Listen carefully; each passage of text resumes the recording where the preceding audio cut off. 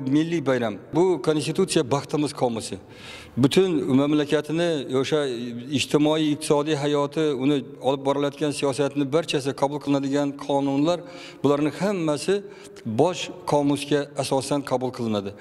Mana muhtaram prezidentimiz o'zini tabriknomalarida eng avvalo O'zbekistonda mana shu mustaqillik yillarida 28 yil ichida O'zbekiston erishgan muvaffaqiyatlar e, amalga oshirilgan ishlar hamda ikkinchi qismida o'zini tabrigini oldimizda turgan vazifalarga to'xtaldilar. Haqiqatan ham mana shu e, konstitutsiyamiz qabul qilingandan keyin 5 ta kodeks, 250 dan oshiq qonunlar qabul qilingan. O'zbekistonda o'sha fuqarolik jamiyatini shakllantirish sari mustaqil qadamlar qo'yilgan. Qolaversa, mana shu eng asosiy muhtaram prezidentimizni tabrigida aytilgan so'z yangi O'zbekiston tushunchasi ijtimoiy voqelikka aylandi. Yangi O'zbekiston maktab ostonasidan boshlanadi. Muhtaram prezidentimizning bu so'zlari ilm faniga, ma'rifatga e'tibori mana shu yangi O'zbekiston tushunchasida mujassamlashgan. Qolaversa 3-renessans degan tushuncha, uyg'onish davri bularning hammasi mana shu O'zbekistonda erishilgan muvaffaqiyatlar, endi qilinadigan ishlar, yangi o'zbekistonni asosiy tamoyillari asosida qilinishi belgilab berilgan. O'zbekistonni mana shu e, xalqaro e, miqyosdagi mavqei, qolaversa mana muhtaram prezidentimiz tomonidan olg'a surilgan o'sha dunyo ahamiyatiga molik o'sha tashabbuslarini butun dunyo mamlakatlari tomonidan qo'llab-quvvatlanishi. Qolaversa mana e, oktyabr oyida asosiy o'sha inson huquqlari kengashiga O'zbekistonni a'zo bo'lishi.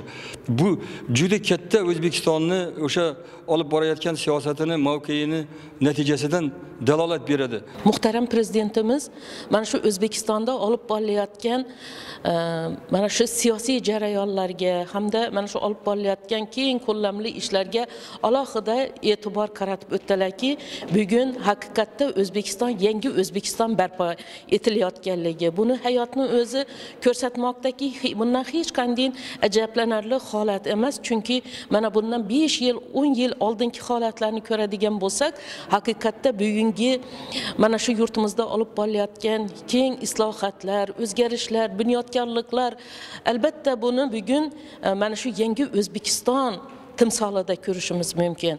Bundan tashqari mana shunday yurtimizda keng ko'lamli ishlar barobarida konstitutsiyamizni asosiy bir qonunlariga o'zgarish kiritilishi talab qiladi ayrim qonunlarimizni ishlamasdan turganligi ayniqsa mana shuning uchun ham muhtaram prezidentimiz e, fuqarolik jamiyati institutlariga alohida e'tibor qaratib o'tdilarki bu ma'ruzasida e, mana shu chiqayotgan har bir qarorlar qonunlar bularni albatta keng jamoatchilik muhokamasiga taqdim qilish hamda keng jamoatchilikni bir fikrlarini bilish e, mana shunga asos asosan o'sha qonunlarga o'zgartirish kiritish masalasiga ham alohida to'xtalib o'tdilar. Haqiqatda bugungi kunda yurtimizda e, juda katta E, o'zgarishlar bo'lmoqdaki buni tadbirkorlik yo'nalishida ham ko'rishimiz mumkin. Haqiqatda bugun mana shu tadbirkorlik ishlarida ayniqsa tadbirkorlarga qulay sharoitlar yaratib berish bugungi kunni talabi hisoblanadi. Bugun iqtisodni yanada rivojlantirish borasida tadbirkorlarga alohida e'tibor e, berish hayotni o'zi bugun e, shuni ko'rsatmoqda. Biz matbuot vakillari oldiga ommaviy axborot vositalari vakillari oldiga ham so'z erkinligi va matbuot erkinligi to'g'risidagi e, uni ta'minlash bo'yicha qilinadigan ishlarni hammasi mana shu nimada e, tabrikda aytib o'tildi. Haqiqatdan ham hozir e, jurnalistlarni oldiga vazifalar qo'yilyaptiki mana shu jamiyatimizni turli qatlamlarini sohalarini yoritishda demak bizlarni vazifamiz hamma vaqt oldinda yurish. Ya'ni voqelikni kuzatish uni tahlil qilish nafaqat tahlil qilish masalan tanqidiy nuqtai nazardan yondashish shular barobarinda e, shu voqelikni xalqimizga e, mushtarilarimizga tinglovchilarimizga oynai jahon muxlislariga yetkazish deb man o'ylayman. Ilgari senzuradan xoli emas edik e, to'g'risini aytish kerak. Mana hozirgidek shaffoflik ochiqlik ommaviy axborot vositalarida keyingi paytlarda sezilib qoldi. Mana yana bir narsani aytib o'tishim kerak.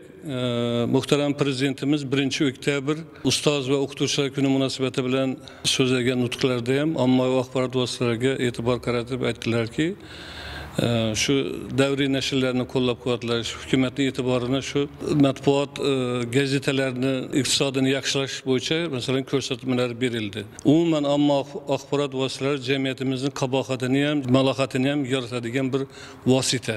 Xalqimiz o'zini o'y tashvishlarini e, orzu umidlarini ommaviy axborot vositalari orqali chiqib ayta oladi bemalol.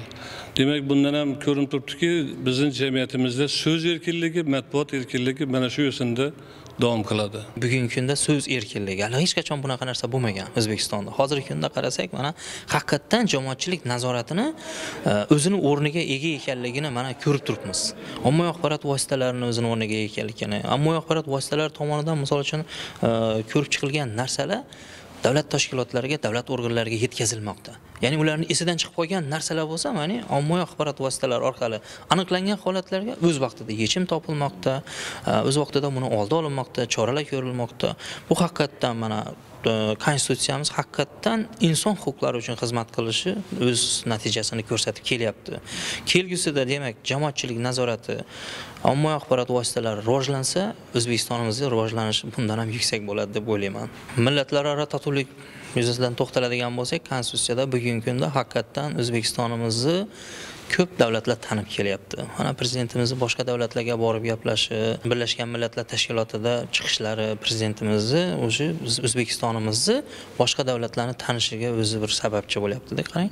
Keyin e, boshqa hamdo'stlik davlatlar bilan ko'p shartnomalar qilyapti. Biz o'zbekistonimizga misol uchun investitsiya masalalarida boshqa masalalarda ko'p oldimizga qo'ygan maqsadlarimiz bor. Kelgusida o'ylaymanki albatta bu o'zini samarasini beradi.